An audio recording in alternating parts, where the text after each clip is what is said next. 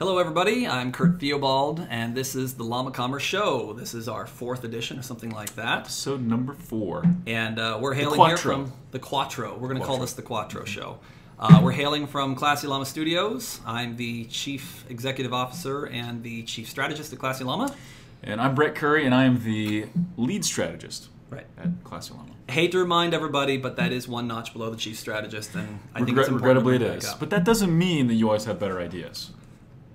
Okay, but but this is still in the middle and not for long. It's going to be on my site soon. Okay, so good. the trophy indicates who is doing the best job of delivering value to the audience Yeah. and who is smarter and better looking as well. Um, which probably puts it a little bit over here anyway. Uh, so, in our zeal to deliver more value to you, we are doing this show relatively unscripted. I jotted down This a couple raw, of things. This, This is is pretty raw. raw. I mean, you're Yeah. getting just us.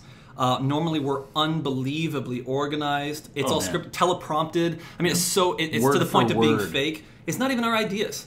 we just read what other people have written and, we're and read fed it to this you. from scriptwriters. We're like politicians. They choose us only because of how we look. Yes. We look Yes. so great, and we have those those noble brows and, and jaws. And the beards, too. I think the beards really The- sell it. That's true. That's true. is Although true. I've heard that beards actually make you less trustworthy, which is why so few presidents have beards. Really? Yeah. They they gotta And- make you look tougher, though. It has to depend on. Would you why would you trust, trust a lumberjack without a beard? I- Would you trust him to cut down a tree? I don't trust lumberjacks with beards. Okay. Are we cutting down trees? This is our show. This is what happens when This we is go why wrong. we go, uh, this is why wrong. we have these Yeah. tight scripts teleprompted. We just read stuff. Exactly. But what are we talking about today? So today we're talking about something that's absolutely critical for merchants, for e-commerce uh, owners, and this is something we run into all the time. A lot of times, merchants will come to us because they're not getting the performance they want to get. Mm-hmm. They're not reaching the sales goals they have. They know they've got this great product, potentially this great brand, Mm-hmm. and they know it's underperforming. and they have all these ideas on Yeah. what they can do to make it to, to make it go. But what we find is that behind all of that, there's something missing. Something is missing. And so, just to lay this out there, our purpose for this show, we want to reemphasize this every time, but our goal is to demystify e commerce into digestible, actionable bites. And so, we're going to take this big topic of finding out what your core is, what your brand is, and we want to put that into little actionable bites so that you can make changes. So I'm going to put this back over on your side because you got us back on track. Thank you. Well Yes, done. I did. Very good. So um, we're going to try to keep this really simple because it is simple. It's just not easy to Yeah. get to the core of your brand. Um, so we've defined a couple of key questions that you can really hone in on, um, and, and you got to answer these questions. And this is important because if you don't get this right, then even if you're successful in a short-term context, Yeah. it, it, it, it isn't sustainable. Not sustainable. It's not sustainable in a business success huge. unless you have those that that core that you're pivoting from. Yeah. So the first question is, what can you own? What so can you ask own? yourself, what can we own Yeah. in, in the business? So think about the brands that are really highly successful, that are talked about, that are exciting, that are lively. Um, and we may not even like all the brands, but Maybe not, Uh, but, we can still respect what they've done. that's right. So um, let's start with Amazon. Uh, Amazon is a company that has just exploded, continues to explode. You can see it in, in the stock price, and frankly, you can probably see it in how frequently you've purchased from Amazon in the past 12 months as well. Yes. Yes. I went to Amazon just last week. Um, maybe it was the week before last, but I was analyzing it for uh, some of our clients to identify different ways that they could compete effectively with Amazon. Mm-hmm. While I was doing research, I bought two things. yeah. It's like, whoa, mind They- blowing. They, they are masters at that. And what they started doing in the beginning, and you know, they lost money for a really long time. Yep. You know, they're masters at having everything available. So anything you want to buy in any category, it's there. So you can find it. But they're also really efficient and low cost Mm-hmm. in the shipping options, and, and they just they weave it all together. They're, Yeah. they're really masterful. They were focused on being efficient, low cost, easy access to what you want when you want it, and fast. Fast shipping was it became a, Yep. a key part of that. But that all that was a strategy. That's important to understand. Differentiate between your core value proposition and your strategic focus. The shipping thing was a strategic focus that they had, Yeah. uh, not actually their core value proposition. The core value proposition was what you want when you want it at a low cost, super fast. That's that's what they were after. Yeah, so they're great. Another great example is Zappos, and Zappos has since been acquired by Amazon. They're now an Amazon company. But what they realized they could own in the very beginning was service. They could take care of people and just be fanatical about service. That's where you can order five pairs of shoes, try them all on, ship all of them back except the one that you actually want, Mm-hmm. and you pay nothing on shipping uh, to get them or to return them. Yep. They also did expand their selection, so they focused on wide selection. But really, what they owned was service.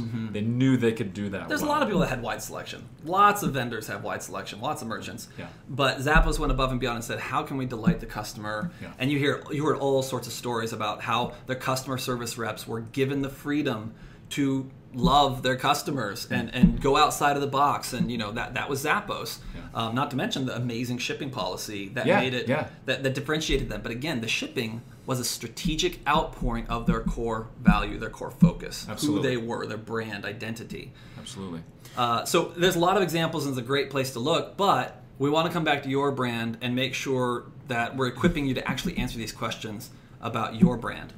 Yeah, so we're talking to a, a, sports merchant. I won't get into details on the, on the category, but they're competing, you know, a smaller company competing with some really large category killers in the sports space. Mm-hmm. And what they determined they were really good at, because the owner was a, a collegiate athlete, and some of the people on their staff are collegiate athletes, what they want to focus on is team sports. Mm-hmm. And so helping to dress and get equipment for teams. And so that, that's their passion, that's their focus. That's what they can own. They can be the team outfitter in mm-hmm. their particular space. And so that's what we're directing them to. And we feel like that's going to be a lot better approach than what they were trying to do online, which was just sell everything and try to compete with Amazon and, and other And they had to answer the question. What can we own? It What can we own? Well, be honest about your current position. Where are you at? What take inventory? What are where are you positioned? What are you good at? What kind of team do you have? What strengths does that team have? And and, and extend from that reality to define what you can actually own. Yep. And be honest, as, as just as importantly, what you cannot own, what you yeah, can't be yeah. best at. Weeding that out is just, just as helpful as finding what you can own, finding what you cannot own, and, getting rid of that. So you have to look. thing- You have to look inside your organization, but you also have to look outside and say, what are the market problems that we can Exactly. solve? What are the needs, wants, and and and, and desires of the market that you can solve? What really, is the really what is the market hungry for? Mm-hmm. Where is there a need or a gap where the marketplace is not being served? And how does how do we find that intersection of what we do really well and what the mm-hmm. marketplace needs? And if you So- find that alignment between what you internally are structured well to do and to deliver, and where the market has a lot of need, a lot of demand, a lot of un, mm-hmm. unmet desire, and you find that alignment, that is a recipe for success. And- Absolutely. And then you just got to focus on that and pour your energy and resources into that. You just, I mean, as small merchants, you don't have the resources required to take a bunch of shots all at once. You've got to focus and take those few shots Yeah. and take them really, really well.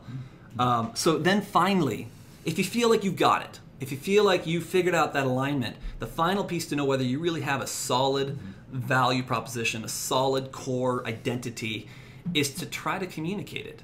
And if you cannot communicate it succinctly, shortly, briefly, clearly, Yeah. in an elevator pitch kind of thing, Yep, you know, 10 yep. seconds or less. ten seconds or less, yeah. then you're missing it. In a few words, ideally. Yeah. Absolutely. So yeah, because if you can't communicate it clearly, and a great litmus test would be to talk to someone in your industry, not on your team, not in your company, but someone who is maybe a prospect for what you're selling, and communicate that to them and see how it resonates.